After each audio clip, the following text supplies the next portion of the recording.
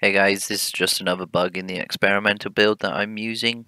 Uh, as you can see, the door here, if I try to actually place a floor in this zone, it will not allow me. If I clear the door, just fast forward. Try and get these tools done. Come on, builders. Here he comes. Right, okay, then if I click on... I still can't build a wall, so I'll build a foundation. Just can't build a foundation.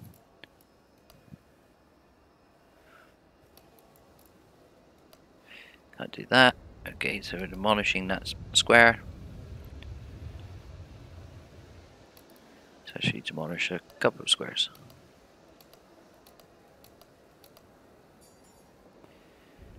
That's the foundation gone.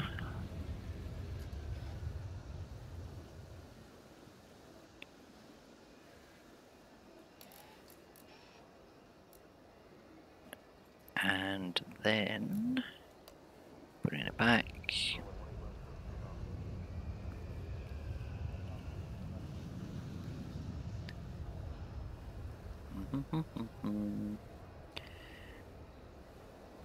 Blocking everybody in. yes, I know you're stuck. Come on. I mean, they could go through this door if they really wanted to. Stampede! How many people can I get stuck in one more? Come on, people, work it out. Where's those builders? Hmm. Okay, I'm really getting a stampede. I'm gonna just clear those blocks.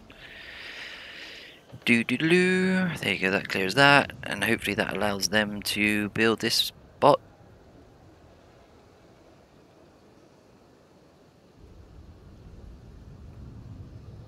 Okay, for some apparent reason they don't want to build this spot. Let me just check to make sure. That might be why. So if I break the deadlock on that, that allows those um, blocks to actually come in. So that's been filled in, the last block.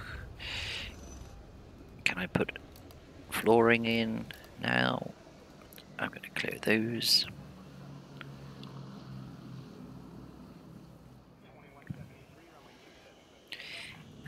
And grab those ones. Do, do, do, do. Flooring going in.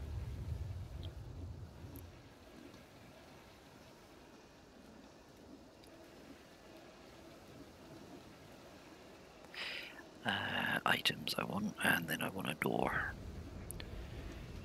And there's the floor now complete, and the door's gone in.